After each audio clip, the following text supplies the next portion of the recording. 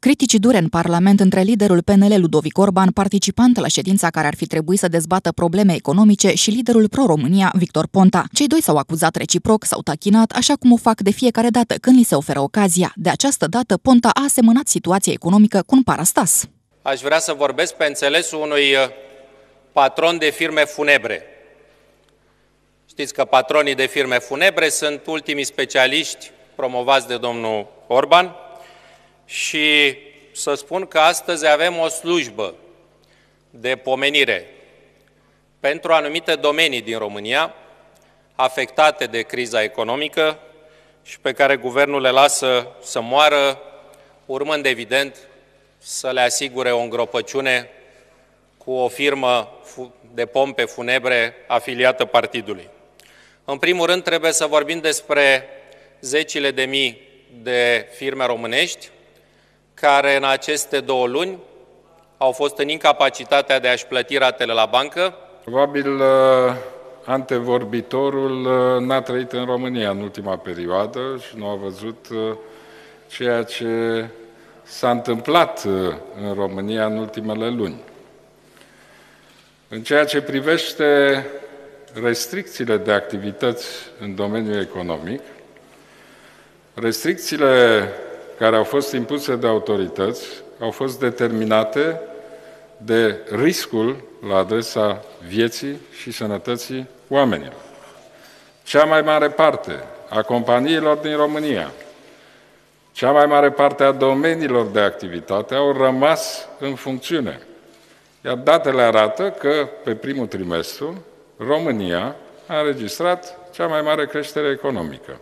Discuția s-a mutat apoi în domeniul Horeca, în cadrul căreia liderul pro-România a făcut unele afirmații cu subînțeles. Principala slujbă trebuie să o ținem pentru cei din industria Horeca. A zis domnul Orban că ei nu prea contează. Eu credeam că vă plac terasele, sincer să fiu, și, în general, restaurantele, nu știu ce aveți cu ele, deodată v-ați întors împotriva lor, așa, cred că e o chestie freudiană. Aș vrea să mă refer mai puțin la trecut uh, și mai ales uh, în fața unui antevorbitor care are ochelari de cal și nu vrea să vadă realitate. Chiar acum vin de la o întâlnire cu sectorul Horeca, în care am stat de vorbă cu niște oameni care înțeleg realitățile și care, în ciuda unor declarații pe care le-au dat în spațiu public, au înțeles deschiderea la dialog a guvernului pe care îl conduc și am stabilit o serie de lucruri pe care să le facem în continuare. Până și situația muncitorilor plecați la muncă sezonieră a fost tranșată în Camera Deputaților cu acuzații împotriva guvernului de exportare a muncitorilor. Succes deosebit al guvernului Orban uh, și anume a echilibrat balanța comercială exportând muncitori, exportând români. Bine, în condiții, sigur, absolut inacceptabile, dar a exportat și bănuiesc că pentru guvernul Orban exportul de români, de bușteni, de grâne reprezintă o interpretare modernă a cuvintelor național și liberal. Nu voi da decât o singură replică. Se vede că nu înțelegeți nimic din Uniunea Europeană. Uniunea Europeană înseamnă libertatea de circulație a oamenilor, a ideilor, a capitalurilor, a mărfii.